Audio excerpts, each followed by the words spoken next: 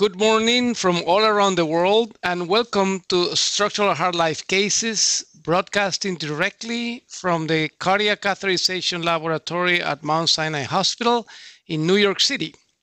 My name is Dr. Pedro Moreno. I'm professor of medicine and interventional cardiologist and director of quality for Mount Sinai Cardiology.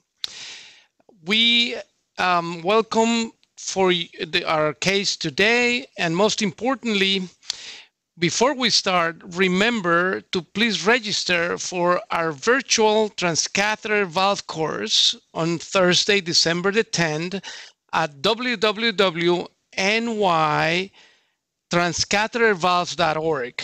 The course directors, Dr. Sharma, Dr. Kini, Dr. Tang, Lerakis, and Dr. Mehran, will be featured with uh, registered lectures as well as two great live cases and live questions and answers directly from the cath lab. Now, remember, we love to hear from you today, so please send us all your questions directly from the website.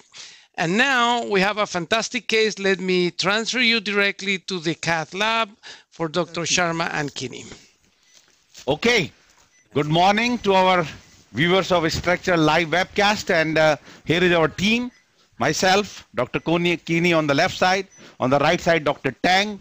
We are Dr. Sahil Khera and uh, our fellow Sunny. And of course, the rest of the cath lab staff, uh, which are all here, uh, along with, uh, if uh, while we are doing this, so we can just go back to the slide so that we show all the participants in this presentation of the today's very complex case, uh, I don't know, yeah. So this is basically uh, sponsored by uh, our the supporters which are shown here and uh, all partners uh, shown individually uh, with the, everyone's name including uh, is on the imaging Dr. Moreno of course is the moderator and we have cardiac anesthetist Dr. Moe Trin so with all the team trying to present you a special case here knowing this is what going to happen more and more now, particularly when we are getting this uh, valve, uh, particularly the the TAVR approved for low risk in younger patients who are living longer.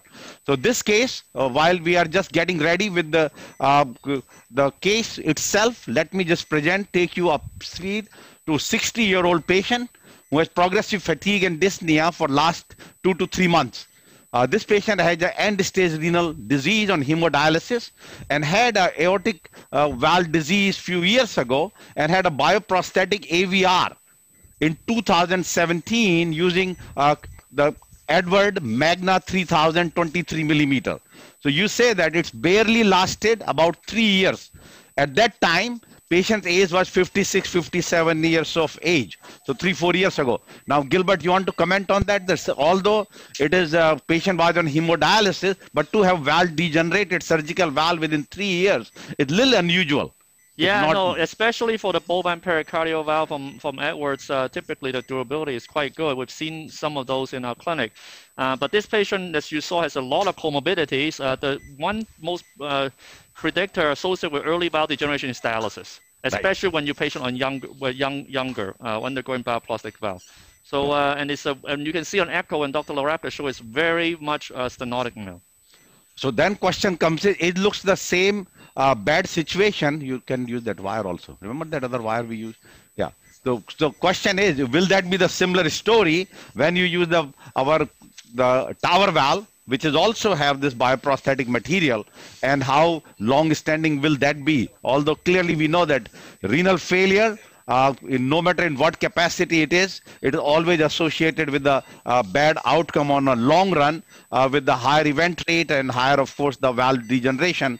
We actually have a very expert, uh, the renal guru of uh, the Mount Sinai of America and world, Dr. Roxana Mehran. So because she's one of our uh, the five uh, the director of the Val uh, conference and uh, she actually has joined graciously joined here and maybe can say about the specific question. You we know the surgical valve the surgical valve has a high degeneration patient with the uh, aortic uh, Yeah. In the okay. surgical, uh, that patient with the hemodialysis has a rapid deterioration of the aortic valve. Now, question is, this patient is only 60. We know he has a lot of comorbid condition, but what is our expected future of the TAVR valve in this particular case, knowing that patient has a he is on hemodialysis. I know the comorbid conditions will play a major role in patient longevity, but what do we know more about the renal failure, hemodialysis, and the TAVR valve? So obviously, the hemodialysis patients are the highest risk, right? I mean. Gilbert, you have a issue with, uh, you know, in, in the surgical uh, replacement, this is a, a really big issue. And I think in dialysis, this is not about worsening renal function because you're already on a renal replacement therapy, but, but certainly these are the patients who are at the highest risk for peri-procedural issues and their, their hemodynamic functions post in with a valve and valve is going to be incredibly important.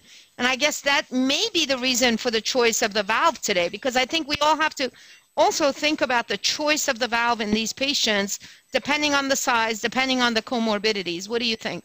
Yeah, I mean, we don't have a lot of data on valve in valve, uh, you know, maybe up to five years so far. There was a recent partner registry on TCT uh, Connect that was performed with reasonable outcome. But uh, one of the challenges with valve in valve versus valve in native valve is that the transcatheter valve will be constrained inside a surgical valve. And you will see today in a live case that we'll plan to fracture the surgical valve to maximally expand the transcatheter valve uh, so that we can maximize hopefully the, Yeah, the so fracking or Yeah. fracturing the valve is very important. But Yeah. these, as you said, Dr. Sharma, the hemodialysis is not about worsening renal function at this point, but it's about everything else bleeding, Yeah. stroke, Yeah. uh, the, uh, the best hemodynamic possibility acutely. Yeah. So I actually, over the years, I have encountered few cases who are degenerated in five years, four to five years in hemodialysis. I can tell you that three years, this will be the uh, shortest I have. Yes. It's now, we are not talking about endocarditis. We are not talking about thrombosis, which can rarely happen. But we are talking about the valve degeneration, like happened to this patient with the both uh, uh, stenosis and little regurgitation, having within three years occurring. Uh, and whether it related to how frequently patient is dialyzed, what is the level of creatinine, their calcium, It's uh, really the phosphorus calcium, levels, many other things Yeah, be. actually, Dr. Sharma, one of the issues here is what is called dystrophic calcification, which is the presence of calcium outside the bones, which is characterized or characterizes the disease, vascular disease in patients on dialysis, and is related to this hyperparathyroidism that is called tertiary hyperparathyroidism. And some data which is evolving actually showing that the level of parathyroid hormone, sometimes over a thousand, may actually play a role. So it's a it's an evolving target and a very complex issue in these patients that actually hampers prognosis. Very good point. Now, this patient, uh, surprisingly, he actually used to have a low EF. Uh, at time of surgery, it was about 40, 40, 42. Now it is uh, between 20 and 25. CAD is only moderate, which has been managed medically, and we will show actual echo uh, in terms of the valve. So maybe uh, Stam can show now, from the valve point of view, the, uh, the latest echo report was EF of 20% and uh, was felt that very high peak velocities and so and there is no uh, prosthesis patient mismatch maybe uh, Stam can uh, enlighten us with the actual uh, we can put the echo on the screen and he can talk about that now Get the guide. structural imaging fellow, Dr. Anastasius. As you can see, uh, this is a mid-esophageal uh, four-chamber view. And you can appreciate the very poor ejection fraction, about 20-25%. Also, the right ventricle is uh, decreased in function, at least moderate. This is the prosthetic valve, as you can see, uh, X-plane, severely stenotic, severely calcified. You cannot even see the anterior part of the annulus because of the heavy calcification. This is with calcium. color, and you can see turbulent flow because of the significant severe stenosis and mild aortic regurgitation. Uh, Always we evaluate uh, to make, make sure that we can see the left main. As you can see here, the left main is seen very well. And we make this point uh, especially after the new valve is deployed. Uh, this is a gastric view. Uh, as you can appreciate again, the very severely depressed LV function, the very severely stenotic aortic valve with mild AI. And the gradients here, we get a mean gradient of 52, even with a very low ejection fraction of about 20-25%, very severely stenosed valve, 0.4 centimeters square by the continuity equation. Dr. Sharma, back to you. crossing the valve, which we used to use. So, any uh, any mitral, any any other valve The, uh, disease? Yeah, we, we did not. Uh, the, he has mild to at most moderate MR and uh, mild to at most uh, moderate TR. Yeah. Left atrial appendage clean. We did not show this for the interest of time. But uh, those other lesions are mild to moderate. Okay. Okay, let's uh, move the slide further.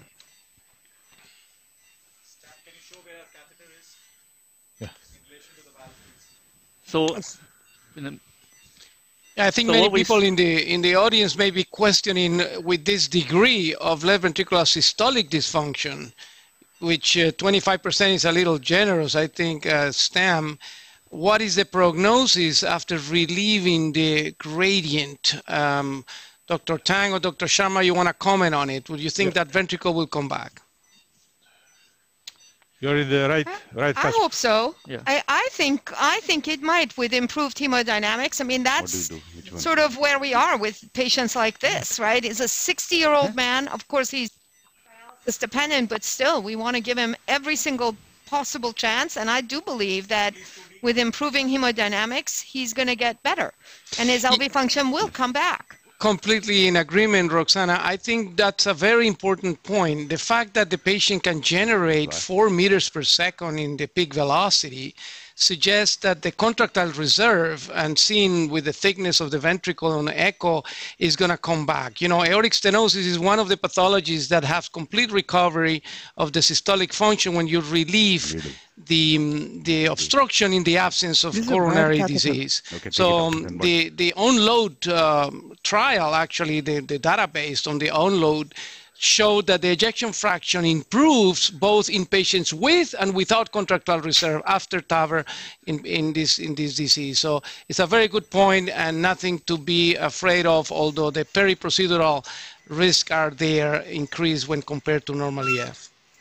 Of course. Of catheter course, absolutely. And I think EL one was the best. Yeah, so you can see while we are uh, working across the valve that uh, the patient's STS score for aortic valve replacement, this is uh, there was a typo there, is 5.88, but clearly uh, from an overall medical standpoint, he's much higher risk than that.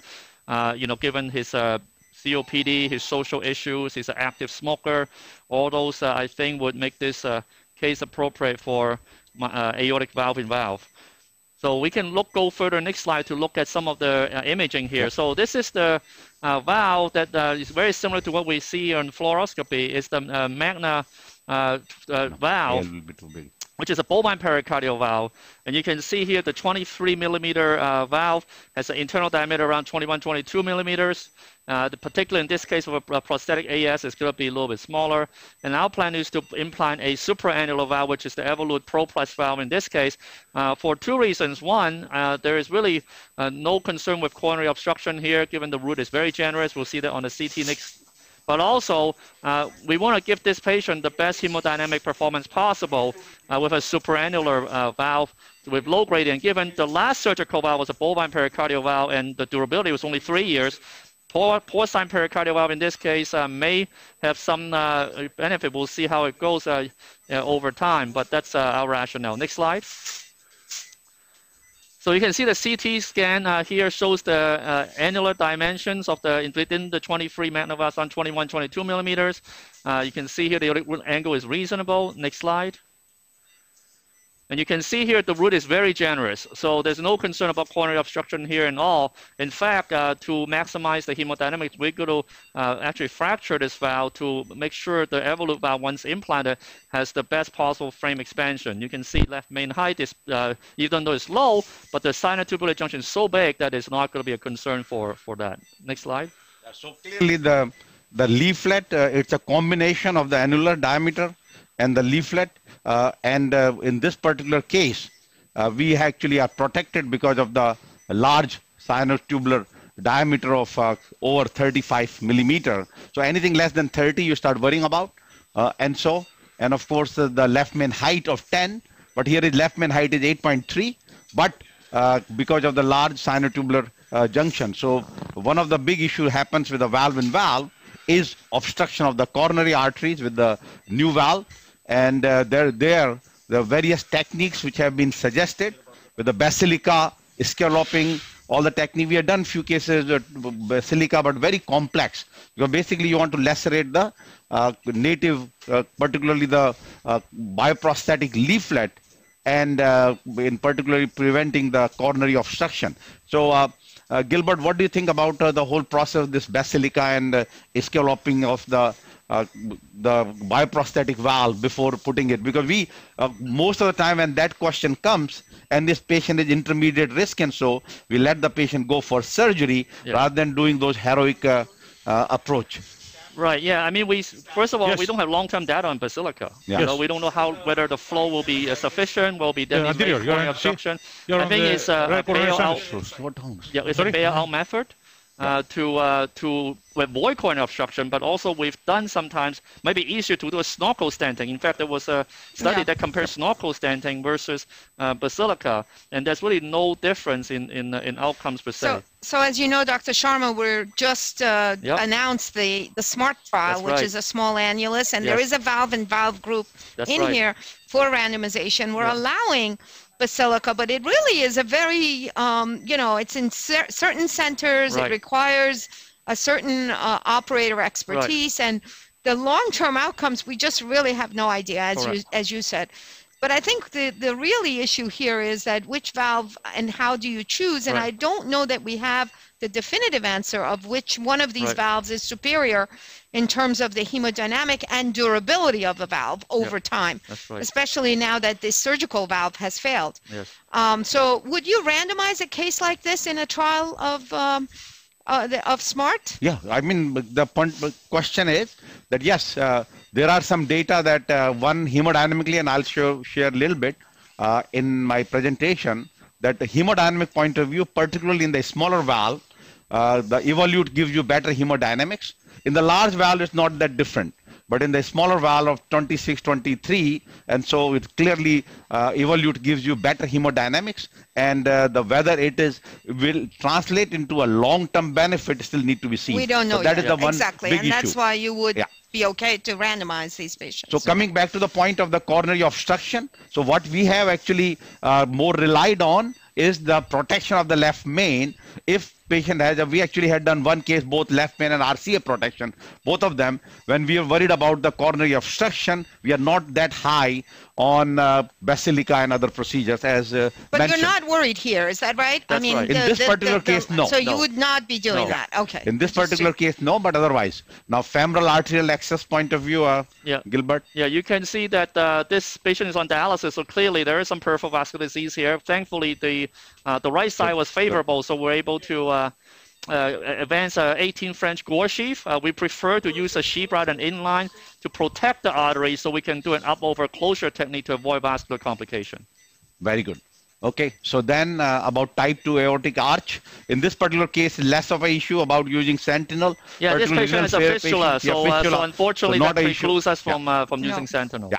So this is the important point. So this particular case, what we are deciding here is that patient will get a valve and valve TAVR using 26 millimeter Evolut Pro Plus core valve in 23 millimeter Magna valve with a right percutaneous femoral approach with balloon valve fracture using 23 millimeter true balloon. What is a balloon valve fracture? And this basically points down to the various commonly used surgical valve. The red uh, type you cannot uh, uh, the fracture, but the green one you can fracture, and this is what magna valve is. Yes, the commonly used trifecta is the one which you cannot fracture. That's right. You can model and stretch it, but you cannot break it. Correct. Yeah, and actually, uh, the lot of current aortic valves are being manufactured, keeping in this mind Yes. when the time will come that they will be better suitable for the TAVR procedure. That's right. right. I mean, some of the valve changes are Yeah, being made so at for example, the Edwards Inspiris valve has a hinge that can, uh, you know, loosen up when you do the uh, fracture. So you don't have to fracture, you just stretch it and you can implant. Now, we don't know the durability of that valve. but We'll see uh, when the next 10, 15 years we when need we the see those durability valves. data are key Ex- here. Exactly. But um, do you want to talk with uh, Dr. Dr. Kini? You, uh, it was not so easy to. Uh, I see you. You usually cross within a minute. Tell us what you did and what was your trick to get across. Uh, we'll talk. Are you finished with the case presentation? Yeah, case presentation second. is yeah. Then I'll mention. Yep. Oh, we can show the fluoro. Flora, bring the fluoro now on the screen. Uh, have let's have the whole aogram so we'll understand why we are having trouble in Ma'am? crossing the valve. This is really important teaching point.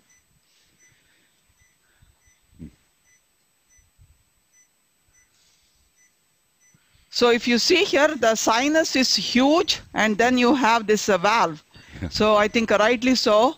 Sahil Khera did, uh, you know, warn me as I'm walking in that uh, this may be a difficult one to cross. Uh, so usually when you have a prosthetic valve like this, we go with the smaller, which is the normal teaching is that we would go for any uh, catheter to be uh, used if we are using for a, a normal uh, aortic valve, we will be AR2. But in Yeah. this situation, we always say go AR1 and then use RAO view, not LAO view, but RAO view, because you will see um, how, uh, let me go to RAO and just tell you, see here, how your projection is, you will know exactly, you know, which way that you want to enter into the LV. But here, we had to go to multiple views, but since the, you know, the sinuses were large, we tried, we went with the AR2, then tried with the of course AR1 but then AL1 did not and then our AL2 is the one that actually helped us. We can show the fluoro save um, how actually we cross. So other trick also is that uh,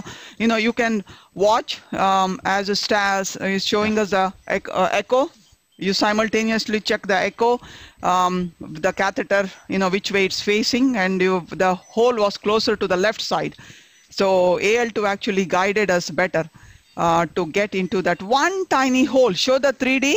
Right, I think even in the 3D we were able to see the opening was just on the left side. Everything else was, uh, you know, de- uh, degenerated and, uh, um, right, closed. Yep.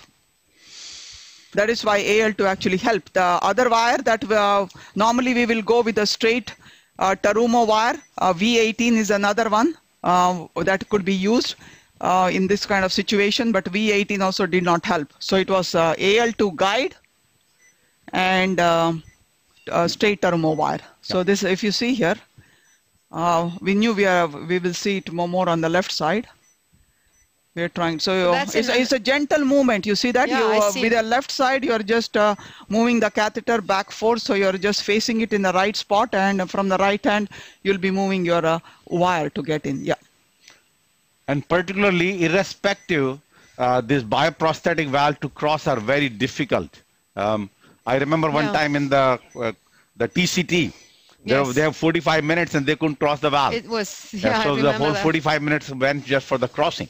But yeah, they are always very difficult. But yes, uh, the various techniques which uh, had been mentioned here uh, is they are very helpful on this case, and particularly it was AL2 because of the large aortic sinus that is goes against our teaching in crossing these valves.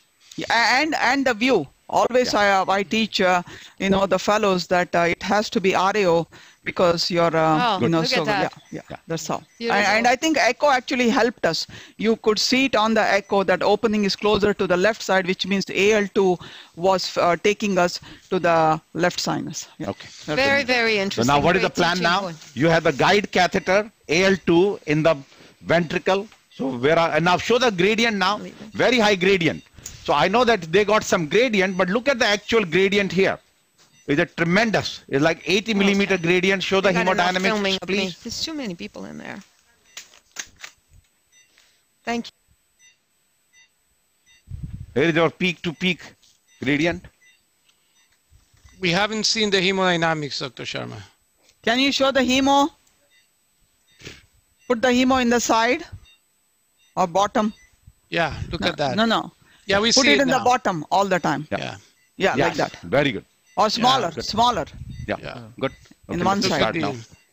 What's the next step now? So we are uh, going what we will do the next step would be that uh, we are going to use a regular J wire and then uh, we'll change it to a pigtail.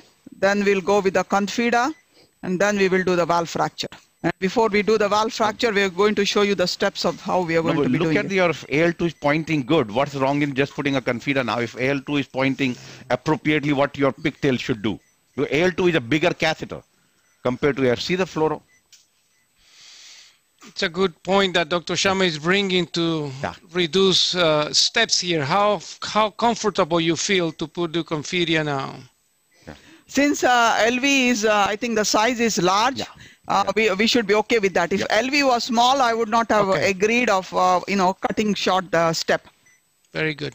Now, Anu, uh, if in your aorogram, which I would love to see again for a second, the aorogram, you can see that there might be a mismatch, uh, you know, a patient prosthesis they mismatch. said no. Or what do you think about that? Look at the size of the annulus and look at the size of the valve. And this is important when you do valve in valve. But yeah, go ahead, Dr. Sharma.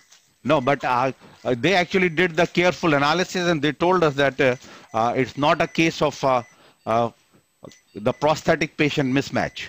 Okay. Yeah.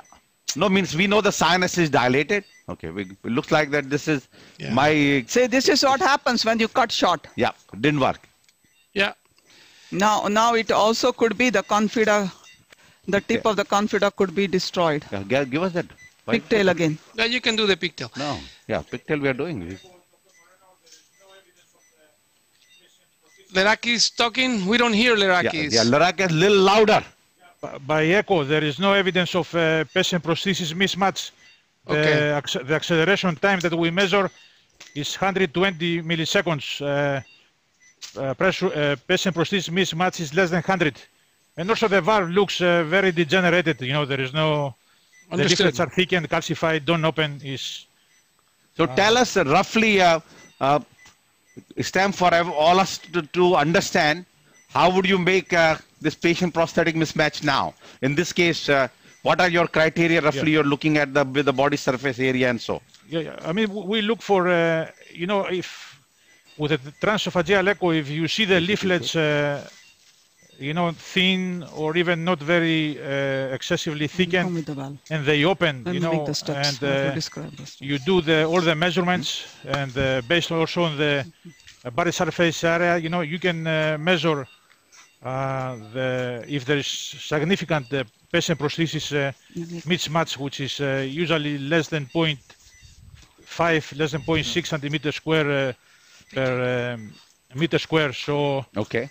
Uh, we do all the measurements, and uh, but also by seeing the valve by itself, if the leaflets open, most likely if you have a significant gradient will be due to prosthesis, patient prosthesis mismatch. But this is clearly not the case. And sometimes you also have fi- uh, mixed findings, patient prosthesis mismatch and some degeneration. So you have to take everything into account. I think uh, Stam in the definition, it's uh, when the effective orifice area of the prosthetic valve is smaller than the orifice of the patient-nated valve with a ratio of 0.65 centimeters square per meter square. But can you actually measure the patient's original orifice valve when you have a prosthetic valve in? Uh, I mean that's uh, very difficult to do, you know. But uh, How? again, we take everything into account, you know, everything Okay. into account, and also knowing the knowing the size of the valve that the patient has, and, uh, and we can compare before and after the valve is placed. We can uh, make a determination. Okay. But uh, Good. Okay, think now let's is- go full screen. Uh, operator, uh, not full screen. Remove the echo. Half screen us. Now take the hemo out. Or you know what? You can put the hemo small in the side. Put the hemo below the fluoroscopy But right now in the small. But you show what you wanted. Yeah. See this now? This is So essentially how you're going to crack the valve, if you can, no, side, below the fluoroscopy. that they cannot Okay, then take it out. take it off right now. Good. Show me full. Yeah. Okay. So this is where, uh, if you see here, how we crack. So this is the balloon which we have. What size Okay. true balloon? True 26? balloon is a 23 true balloon. little bit deeper to- So uh, you have a three-way stopcock, if you can see it. So I will be going completely using this syringe, dilate the balloon, and then, then you lock it. The syringe will be locked, and then after that, I will use this indeflator, keep going fast, and so that I'll crack it. So th- those are the steps. Okay. But I thought that true balloon with a multi-layer, no matter how high you go, you cannot ex- expand it further compared to a, a good, good for some Z-MED. Z-MED, yeah. A little bit deeper. True balloon, once it is inflated, you cannot go further. It's a multi-layer, six multi-layer balloon. Once it inflates, you cannot increase the size further. Uh, The idea is to the pressure, not Pressure, not okay. the size itself, Okay, because you're good. constrained. The pressure is the one that will crack the valve. All right, very good. Let's see it. The to radial believe it. strength, yeah. Yeah. The size will there is just Yeah, increasing once, pressure. Once you cross, I'll. Pull the wire a little bit. Good, very good. Good, good, good. Uh, now, Moy, okay, patient could become, uh, you know, Will be very a long pacing hypotensive, run. long, Long pacing, pacing run. run. So let's be ready to resuscitate, okay? And valve should be ready to deploy. Yeah. Valve is ready, right? Good. Yeah. Okay, ready? Yeah. Okay, let's go 180. Show the hemo. Good. Okay, no pressure. Go. Yep. I'm good. So I'm locking. And now I'm going to start going. I'm 12, 14, 16. What's the pressure? Yeah. I'm 18. I think it's cracked. Correct. Yes, Yep. it's cracked. It's cracked. Good. Okay. I'm just coming down. And then I'm going to relieve. Take out the balloon. Deflate the balloon. Yes. Balloon deflation. Off pacer. Off pacer. Yeah. Now, Good. okay. Good, My resuscitate. please. Good. So you see the pressure drop when you crack. You you you try to go up to 20 atmosphere and then you see it drop. That means it's Okay, uh, let's get the valve. Let's go. Yeah, negative, negative. yeah, I'm One negative. second. Yep. It's, Are uh, you showing the hemo? How much Yeah. AI? No much AI. No, no much AI. Okay, we just need no, a little but- resuscitation. Yeah. Yeah. Okay. Go, go fast. yeah. Okay. Blood pressure up. Uh, I mean, I don't see much. We need a little uh, push. Be good. Can you change the angle? And uh, Okay, go. did you see it uh, crack uh, mild to Yeah, but moderate. you want to Stamatios need- Lerakis?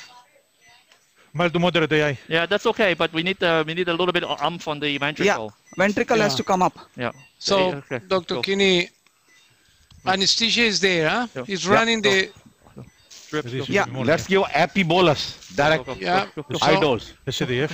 We need to go now. Yeah, we need more because pressure, our pressure is low. Go, go. Go, keep going. We are going up with the valve. Okay, okay, Yeah, yeah, going, yeah. going. Okay. Are we in the right? Uh, That's mag- fine. Keep going, keep going, Yeah. keep going. uh, Yeah, pressure is uh, coming back. Yep. Just wait. A, Go. Very tortuous. Should go. Yeah, do, uh, we're gonna need more more inotropic support Yeah. now. Okay, okay, Probably stop. bit. Okay, We yeah. give full epi. Yeah, good. Start opening. Okay, You don't even need a um, You see, we can. Uh, uh, speed. Yeah, it's more AI. pacemaker, nothing. Okay, Okay, 80. no. Okay, that's it. Okay, wait, the valve okay, is good. epi, um, Moy, push epi. This is stuck. Okay, we got. We should. We should release the valve. Yeah, release the valve. Good. No, no, no. Are you sure it is Yeah, yeah, okay? it's good. Yeah, good. No, no, go to LAO, LAO. LAO, I'm with LAO. Yeah. T up, please. Tee up. Okay, no, no Yep, pressure. Okay. And we give Okay, okay. Release, release. Roll forward. Yeah, roll yeah. Forward. Yeah, let's go. Let's Fly deploy. Let's deploy quickly.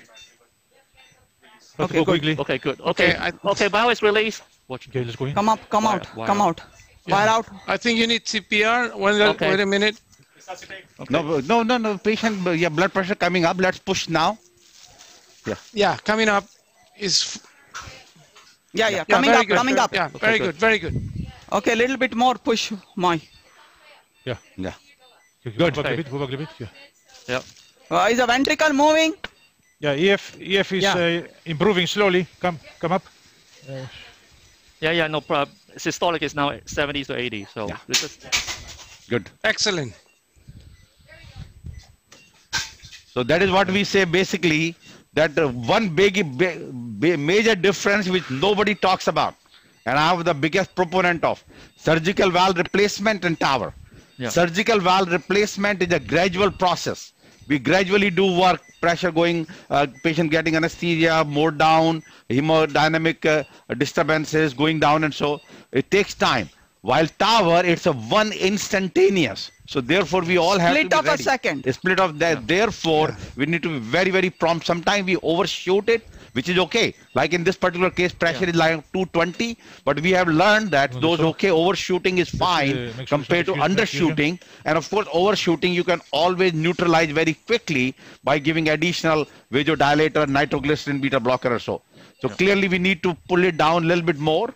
Yeah, yeah, that's okay. Yeah. It'll come down. Yeah. yeah. But I don't think There we need to post. No. No, no. It's, it looks well expanded. I'm- Yeah. So what we always do, we we like to uh, uh, look at the cine picture of the valve in different views to confirm that we have a good expansion, especially after cracking.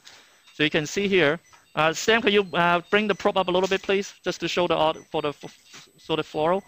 So this is the coplanar view of the surgical valve. You can see even have good commissure alignment, Cine. and and then uh, we can go Cinate, Yeah, so they okay. can see it well. Okay. And you can see here, this is well expanded on the RAO view as well. So Cracked it um, well. yeah, so we craft it really well. It's, and it's well called as lesion preparation. Yeah.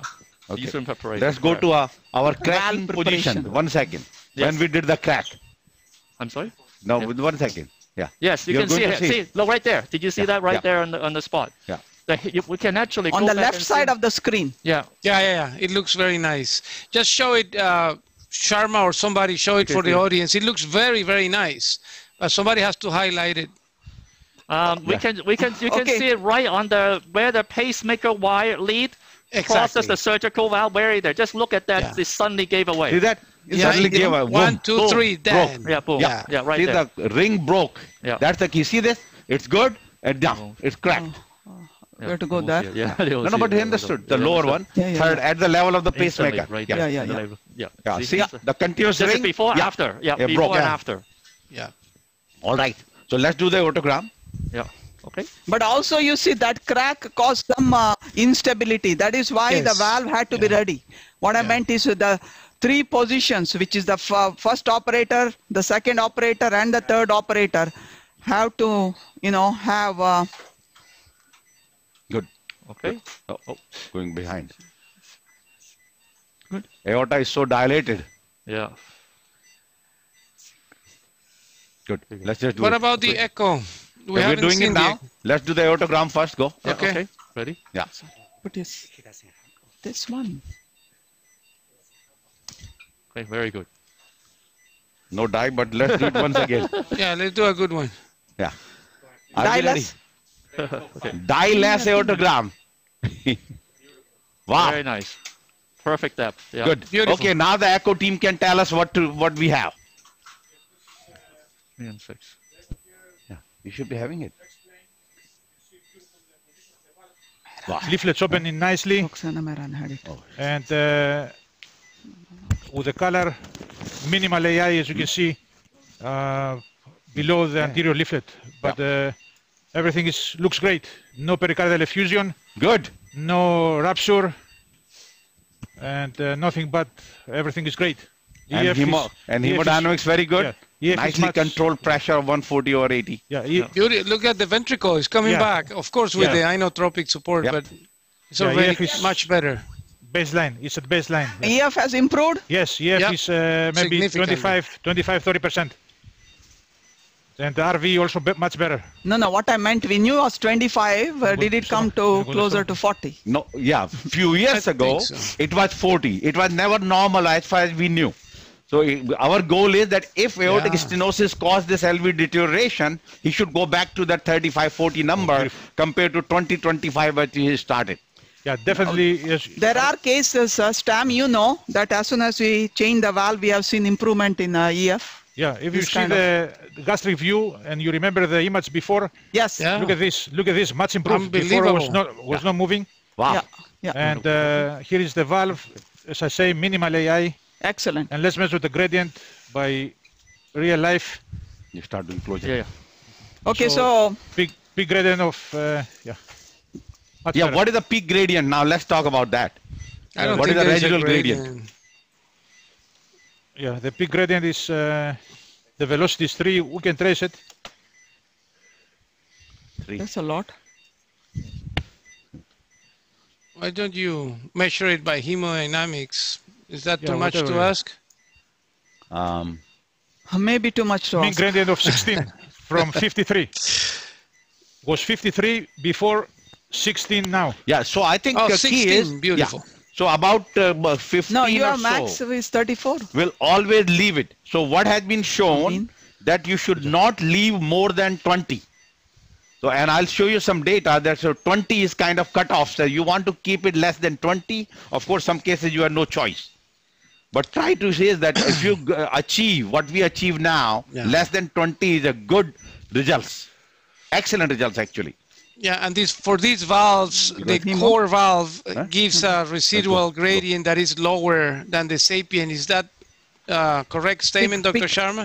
Yeah. So question comes is that yes, uh, that uh, the whether which valve is better. You know, we have the valve choice article uh, published in uh, JAMA Cardiology. Last month we got a lot of uh, uh, positive reviews with that.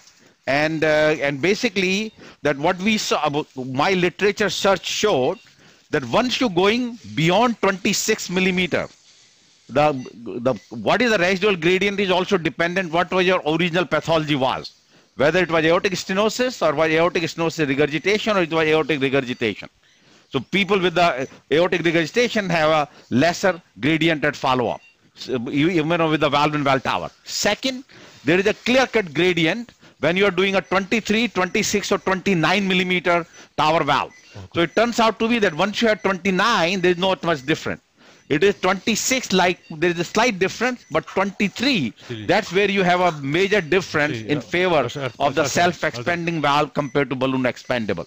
Uh, gilbert you want to comment on that? Can you Yeah, take out so- the T? I think the issue is more on this uh, the small surgical valves. Yeah. Because, uh, that's why we, we try to fracture if the anatomy is feasible. You don't want to co- obstruct the coronaries uh, by fracturing, but certainly the small surgical valve, 19, 21, and even 23 surgical valve are the problem with the gradients uh, with valve in valve. You know, if you look at the fluoroscopy image now, Yeah. the the prosthetic valve, the previous prosthetic valve, have that annulus as a continuous radio opaque line. Right now, you don't see that, and you actually see the expansion yeah on just on correct. fluoroscopy, which is unbelievable. Yep. So the truly you fractured, you know, there is no Yeah. question. Now go back to hemodynamics, please. So we, our moderator, Dr. Mehran, wanted a true hemodynamics of the cath lab, and we are going to show that. Plus the side one, Yeah. The red, red has to be. Sure. So it, But use use a double lumen, huh? Because no, no, no. We have, But we he- have, we have let's see. both. Yeah. oh yeah, no gradient. Yeah, yeah. zero. So about same, about uh, 10 maybe, 10 to 15. That's what they found. What happened? Let's see. This is with the femoral artery, No. huh? Uh, Yeah. No, but the same. It's No, a- central a pressure. It's LV and aorta. Aorta. LV and aorta. Oh yeah, LV and aorta. And look at the Yeah. ascending part of the aortic curve. It's it's much better. I mean, still Yeah. a little Just- anacrotic, but Yeah, which it will be. 10 little. millimeter gradient. Yeah, Good. yeah, yeah, yeah, yeah. So while we are completing, and I'll complete my uh, topic, uh, go over to the slides, please. And uh, the here, our Sunny and uh, uh, Sahil will do the uh, closure, and uh, will take about 10 minutes to go through the latest data in the valve and valve TAVR versus reduced SAVR in bioprosthetic aortic valve degeneration. And actually, I'll tell you that I have found little difference. Uh, uh, the two data presented, uh, large series this year, one plus, one negative, but we'll go through it. Now, question is, we know the TAVR has evolved over the last decade, with leading to class 2A still, because we don't have the updated ACC guideline, but we know knowing the CMS and FDA has approved it, I'm sure guideline will become class one for even in the low risk patient, and that is what we are doing based on the trials of Yeah, uh, partner three and Evolut uh? R. Now we also learned some procedural acute procedural complication. This uh, nice uh, uh, editorial by Grube that once you are done from the acute process, what are the factors for the long term? We are not talking about patients who died at the time, aortic rupture and all this happened. We are beyond. What are the the procedural complication which impact long-term outcome? And they actually put a big five, which is a nice one. One is stroke, paravalvular leak, acute kidney injury, uh, AV block, and bleeding. And actually, uh, you saw that acute kidney injury, a patient who developed AKI after TAVR has almost one year 50% mortality. So very high. So these are the factors, and of course we know about the stroke and the paravalvular leak and so, and that will come into equation. Now, knowing that structural valve degeneration takes place, uh, we whether it's a surgical valve or the TAVR valve and of course they it goes through the regular process. And this is actually has been the definition of the structural valve degeneration. One of them is that if uh, increase in the mean gradient of more than 10 particularly when gradient was uh, the more than 20 and so so multiple definitions have come. This is a another really they have put it together now. Bioprosthetic valve dysfunction, which are the multiple factors of the structural valve deterioration. So valve deterioration is one. Then you could have the basically the deterioration or reversible, particularly like endocarditis, thrombosis, and then non-structural, which we talk about uh, paravalvular leak and patient or prosthetic patient mismatch. So key is that various degrees of structural valve deterioration can take place, which is the part of the bioprosthetic valve dysfunction. This very nicely illustrated. Until now, we used to just talk about structural valve deterioration, but now we are talking about more important, based on the VARC 3 definition, that bioprosthetic valve dysfunction has three components. One is the structural valve deterioration, which is permanent, which is what happens with time uh, and then gradient increases. Then second is reversible thrombosis or endocarditis. And of course, some of the thrombosis can give rise to valve deterioration, structural valve deterioration. And then is the non uh, structural valve dysfunction based on basically your patient prosthetic mismatch and paravalvular leak. So all these things comes in. So now I'll ask uh, Gilbert on talk about this uh, valve in valve transcatheter uh, versus uh, SCVR for this aortic valve replacement, particularly with the degenerated. He actually published this paper in AJC uh, with the trend in last four, five, six years. Gilbert, you want to say? Yeah, well, we know that for native TAVR has already exceeded the volume of all surgical aortic valve replacement in the United States. So what we find now with valve-in-valve TAVR, uh, provided the patient's high surgical risk, that's the indication right now, that is also exceeding redo uh, trans, uh, surgical aortic valve replacement over the last several years. We don't have the current data yet the last couple of years because of the um, NLD database, but uh, certainly I, I, would expect that now the number of valve-in-valve TAVR probably exceeded the redo surgical aortic valve, isolated. Right. And also by the indication, it is only used for intermediate to high risk. The it's valve and valve, right? I mean, valve yeah, high surgical risk, risk, Of course, you know, that's like this patient is high surgical risk, clearly despite respect of age. Yeah. Yes. And that too is still not a class one. Uh, it will be a like 2A. Yeah. And this is actually just put it together. Height of the red bar is the redo SAVR and uh, the blue is the valve and valve that all outcomes were lower with a valve in valve compared to redo SAVR. Yes. So this is one of the propensity score match analysis which was published. Now, we also know that valve in valve TAVR has a lower complication compared to native aortic valve. So native, so just like restenotic lesion, what we do in PCI, uh, the restenotic lesion, we do PCI lower complication than native vessel, native uh, lesion. So same way, valve in valve compared to is not true for redo surgical valve. So this is where the basic issue will come. Why valve in valve is have a lower complication uh, when it is done for the uh, bioprosthetic degeneration compared to native valve. But if you do a surgical valve for the bioprosthetic degeneration, they have a two to three times higher mortality. I mean, I think, I think, we can take this case as example, right? I mean, look at, I mean, despite the low EF, the, the technical difficulties, this patient can go home tomorrow literally speaking, you know, after dialysis. If you had to do re-op sternotomy with the patient active smoker, dialysis, and other uh, risk factor, PVD, he's going to be here at least for one week, if not longer, just to recover physically um, from the operation. Not that it's not technically not doable, but it's the recovery, and that's what you see in the outcomes uh, that's published and presented. Right. So basically same as mentioned with the TVT registry database and so. So if you have an original surgical valve uh, in the not TVT or STS uh, database, like overall surgical mortality is about 1.3, 1.5 percent. It almost becomes three times four plus when you're you doing a redo SAVR because part of that patients are more complicated, have more more comorbid and conditions. this is a also. nationally represented example, yeah. right? Remember, right. on average, a cardiac surgeon does five AVLs a year on average. Yes. Very few. So can imagine redo is even lower. So now, now the second question comes is here. This is a representative slide of people always talk about balloon expandable heart valve versus self-expanding heart valve. And baseline and more important is on the right side, what is your gradient, residual gradient at discharge? And it's dependent on, as I mentioned, whether you use a 23 valve, 26 or 29. As you see, at 29, there's identical gradient. It is only when you get to the 23 and 26, 23 tremendous. uh, with the balloon expandable, you leave a gradient of uh, almost 25, 30% all the time. And that number goes down to about 18. And of course, uh, the, the, put it together that if you talk about the balloon expandable, if your residual gradient is 20 or 40, so some cases, a balloon expandable, you may still end up in leaving a gradient around 40.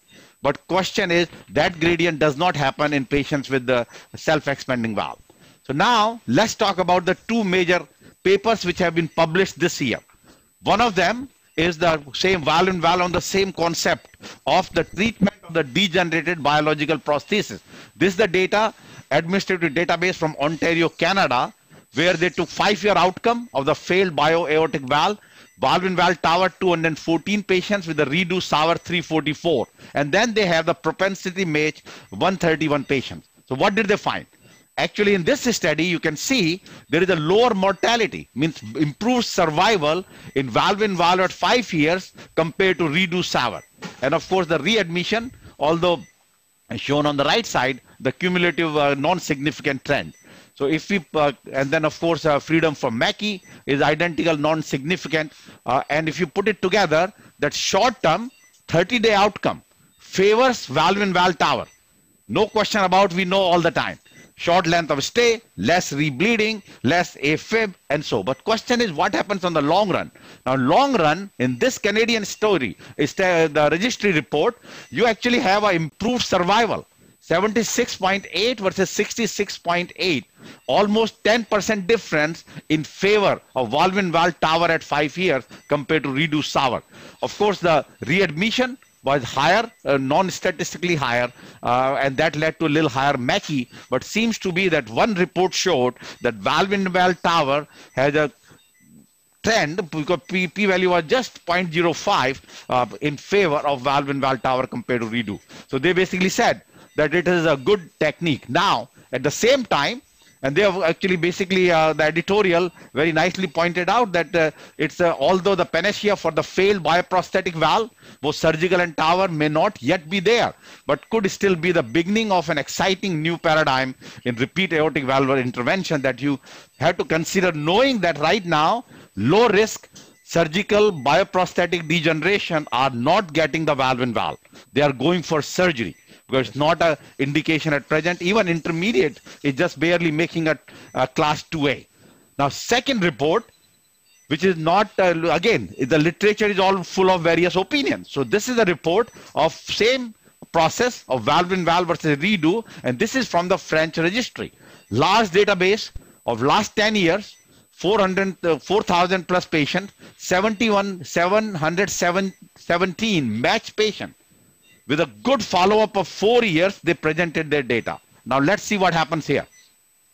So what they found that of course, uh, if you match population, half of them, they were both balloon expandable of about 46.7, self-expanding 53. And these are the various characteristics. So nicely matched patient population and they have the Euro score uh, about 4.7 in both of them. These are the individual 30-day endpoint. As you can see, uh, valve in valve TAVR, favored 30-day endpoint. So far, the story looks very good. Now let's go further. Uh, what happens after home, after the discharge? And look at this one, the incidence of combined endpoint of mortality, stroke, MI, and major life-threatening bleeding. You can see the blue bar or red. Red is TAVR, valve and valve TAVR, and blue is surgery. And at about two years, the start crossing in favor of redo SAVR compared to TAVR. So how do we, uh, uh, Gilbert, and then I ask uh, Anu, that how do we reconcile the two major database? Again, these are the propensity match. They are not randomized trial, but one had totally contrary uh, results compared to this. Here, it make you believe that after to look at a four year the difference between two. And so also is mortality. So you always worry about mortality. Same message is for the mortality that you uh, after two years you start having a higher mortality in valve and valve TAVR compared to redo SAVR i think we should definitely talk one uh, one minute about this uh, two disparate results of the two trials I think I think first of all, there's always an inherent selection bias. Even though you can propensity match, you're not going to count all the factors. Yeah. You know, like frailty, for example, or other uh, non-captured uh, medical field. Because remember, both are databases-driven research. So whatever you put in is how you can analyze. But if you don't include certain variables, you're not going to be comparing those. So I think there's inherent selection bias in each of the papers showing the differences. And you know, they're two different uh, ge- geography. So uh, you know, we don't we don't know um, what the underlying differences are. But I think that's that that's why I think there are discrepant results. And they did also mention that in the last two years, even in the French registry, the outcomes, of the mortality no longer became significant. Right. Means that they did a better job of valve in valve TAVR, and particularly many of them they did a fracture. So because the technique improvement, and they definitely the in first four five years they noted, but last two three years that difference was no longer there. Anu? No, is it uh, that intermediate high risk were all valve in valve, low risk went to redo SAVR? No, they're propensity match. So that way Euroscore, that way they match. You're right. That is the regular practice. But in this 717 patients which they had, they were matched patients. Okay. They, yeah. And the type of valve which we just discussed, like uh, you know Gilbert and you mentioned that was the valve cracked. What was the final outcome with the you know? That's why I think mortality probably is different based on residual gradient, uh, even though they are valve in valve and what kind of valve were used. You know those a lot of these minor things. Uh, which should be taken into account. I think the biggest uh, issue could be overall patient, uh, um, uh, you know, what's the kind of the patient, like we just mentioned, because frailty index nobody takes into account uh, only certain you know numbers are taken into account to get STS uh, score. But frailty is a big D, big thing for all of us in this elderly population. Very good. So new onset AFib, repeat hospitalization, pacemaker implantation, as you see here, again favored. So I put it together in the bar graph, death, stroke, the hospitalization for heart failure, combined endpoint, and new onset AFib. So even AFib, actually, I was surprised was no difference between two studies. I mean, two two groups. Yeah, you will it- it- expect that surgical group will have a higher AFib, Correct. but not in this uh, registry data. Uh, but hospitalization definitely for heart failure was much higher, uh, as shown here. But overall, not. Now, also very important. As I said, time-dependent phenomena occurred in this. That in the later part, no difference in mortality. And also they found once you go to the lower Euro score, which uh, briefly alluded uh, by Dr. Kini, the lower Euro score actually you have favor the the redo SAVR. But once you have a high Euro score, actually, although not, statistically not significant, but it favor valve in valve TAVR. And that is what our practice is. In intermediate, usually actually high risk, valve in valve is approved and with a two-way indication and so. So clearly, I think uh, here, they do don't mention that in the oral conclusion. They say identical outcome, but we saw things separating after uh, two years and so. So they, we know that after two years is a trouble. So lastly, uh, that basically, so nice editorial by Raj Makkar and the group, but I would say we need a randomized trial of valve in valve TAVR or reduced SAVR in degenerated bioaortic valve prosthesis, maybe somebody with a little higher baseline risk, and there is a no uh, coronary obstruction. So the question comes, what are the regions, if at all? So this I have, I have put it together, that possible explanation for higher follow-up mortality after valve in valve TAVR versus SAVR. One of them is there is a prosthesis patient mismatch, which could happen largely because of the constraint of the original valve. Second, higher paravalvular leak, which have been shown. Uh, of course, surgery there will be no paravalvular leak. Then increased rehospitalization rates because of high paravalvular leak, higher need for permanent pacemaker. Some patient develop pacing-induced cardiomyopathy, and there are some question about valve thrombosis due to aortic sinus flow or delayed coronary obstruction with a valve in valve could happen. Now, this is just a very to like FYI, patients, since we are following more and more patients, now we are seeing that valve, the TAVR valve is being explanted for various regions, many of them because of endocarditis, coronary obstruction. They are going for some other region, so they are explanting the valve, although number is about 0.2, and you can see here, if explantation takes place, majority happen within one year. 71% of the explant happened within uh, one year, and of course, uh, in the past, explantation they have a higher mortality, but now it has gone down, and they actually have shown that we need to worry about the TAVR explantation uh, in the times to come. So just put it together, that update our take-home message. The first one is The reduced TAVR is associated with higher surgical mortality. Hence, valve TAVR is increasingly be used to treat bioprosthetic aortic valve degeneration. We know, particularly in intermediate to high risk, usually high risk, and the short-term out, short-term outcomes favors valve valve TAVR versus reduced TAVR, but long-term outcomes in at four to five years are conflicting. Why? We have two reports. Large French registry showed higher mortality and higher hospitalization. Canadian registry showed lower mortality and trend towards therefore our randomized trial is clearly needed. So quickly I want to finish it now. We are getting to our time.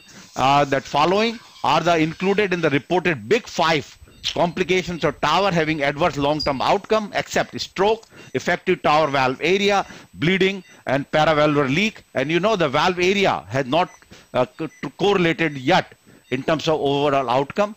Then following the true statement regarding valve in valve TAVR versus reduced TAVR in degeneration, aortic valve degeneration, except that valve in valve TAVR has a higher frequent hospitalization. Valve TAVR consistently has higher long-term mortality. Valve TAVR has higher 30-day mortality and adverse outcomes, and valve TAVR has higher incidence of coronary obstruction. We say answer is C, that it's not higher 30-day mortality, rather lower. So then last question, that following are the possible explanation for higher adverse outcome after valve TAVR versus surgery in degenerative aortic valve, higher paravalvular leak, higher residual gradient, um, higher valve thrombosis, higher stroke rate. Stroke rate has not been different, and that I conclude my today's presentation. And here, uh, Sahil can just show the full closure. If we can show the uh, go back to angio, yeah. Yeah. So tell us if you close this. Right, so this was a very calcified vessel. Dialysis patients, we are uh, sort of seeing a very calcified uh, tram track appearance. So uh, luckily, we stuck at 90% of the femoral head, so it was a very high stick. We balloon tamped with just a couple of minutes, and we have excellent closure. So there's no reason patients should not be able to go home tomorrow. Beautiful. Now, the, for the vascular access, uh, remember now we are are we using ultrasound? and so, under or you just go with CT guided. Right. So we do CT guided uh, planning, then we use ultrasound and micropuncture uh, for our uh, vascular access to avoid the calcium. Correct. Yeah, because that's that's the way to go with this. Yep. Okay. So with right. that, uh, we conclude our today's structural webcast. Very good. So Thank you so much. I want to uh, congratulate uh, the team and thank you for Dr. Carlos Nieves from Puerto Rico who sent us regards. We appreciate your email and your questions for the next time. Yeah, it was a it was a really extremely illustrative and uh, teaching case. Um, a lot of things to learn. Very evolving, very beautiful evolving field. And but most importantly, remember that December the 10th we have our New York Valve Symposium, the Mount Sinai New York Valve Symposium. So get in your calendars free December the 10th is a Thursday and register. You can do that today at www.nytranscathetervalves.org the, the symposium directors that are the same that you saw today. We will welcome you for a fantastic full day of live cases uh, and register um, uh, meetings as well as questions, live questions. So thank you. Yeah, six hours only. So thank you so much. And I'll see you. Remember, the next Tuesday is going to be in January, the second Tuesday of the month. We always do it at 9 a.m., the second Tuesday every two months. So will, the next one will be in January. Thank you so much.